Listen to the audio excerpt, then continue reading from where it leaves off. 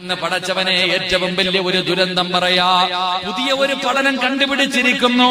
കുടുംബ ജീവിതത്തിന്റെ കുടുംബ ബന്ധങ്ങൾ തകർക്കാനുള്ള ഒന്നാമത്തെ കാരണം എന്തെന്നറിയോ? കുടുംബ ജീവിതം തകർത്ത് കളയാനുള്ള ഒന്നാമത്തെ കാരണം മൊബൈല. അള്ളാഹു ഈമാൻ തരുമാറാകട്ടെ. അള്ളാഹു ഈമാൻ തരുമാറാകട്ടെ.